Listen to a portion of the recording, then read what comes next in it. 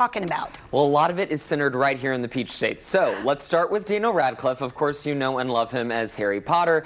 He's had a longtime girlfriend for over 10 years, and they're expecting their first child. Oh. So congrats to the happy couple. There they are, looking great, looking gorgeous. Cute. I mean, he's kind of ageless, isn't he? Always look at that sweet little face. Exactly. And so Twitter's kind of erupting. Still can't believe he's having a baby. This is a major new era for HP fans. And Daniel Radcliffe is I having a know. I'm telling you. I Jamie thought Lee. the same thing. We can't believe it.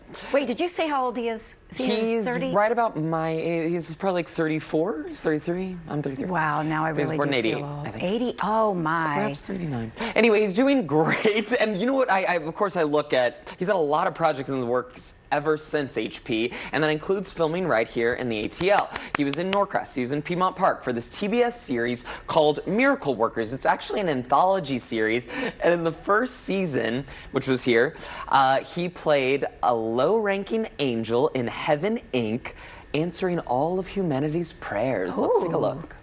Welcome to Answered Prayers. You have arrived just in time. Two billion prayers received. We have to answer all those prayers. I generally try and shoot for three, four a day. Although, now that I've got you, a teammate, there's no telling what we can do. I'm thinking five, six, maybe as many as six. Anyway, big day ahead of us. Here's to the team. Cheers. Yes. I love something faith-filled and angel Me related. too. oh, Trent. Yeah, but it's, it's supposed to be very quirky, and each season is a different one. So it went on to do the Dark Ages, the Middle Ages, and you're going to get a fourth season on TBS this year. Yay, Yeah, he executive him. produces. I love that. There we go.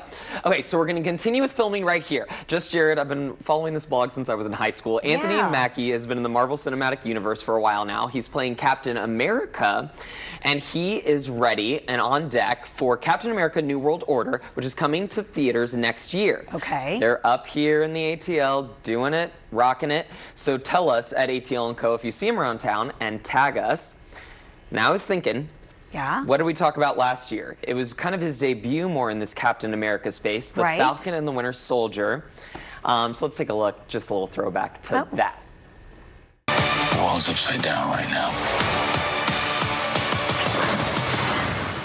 Where do we start? Buck, I have a plan.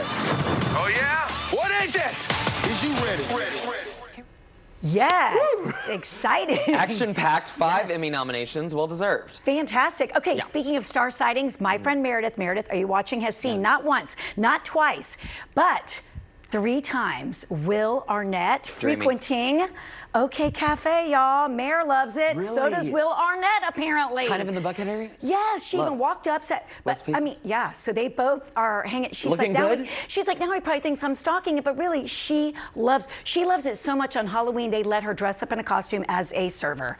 That's how much Meredith Oh, loves she it. loves that show so much. Okay. No, Will- loves OK Oh, Cafe okay. and Will Arnett. I was like, is he in a show based in a He's- restaurant? he's clearly here Yes. for somebody Is he loves just as tall in person? He's very yes. imposing. Yes. A past spouse of the great Amy Poehler. Yeah. Remember that? Yes. Yeah, and he's I a- listened to the podcast. Yeah. If you're watching 11 Alive tonight, watch The Voice because it's the last night of the blind auditions. Okay, we love the voice and we love you guys. Thank you so much for tuning in on this Monday. Make it a great day. I'll see you right back here tomorrow. Go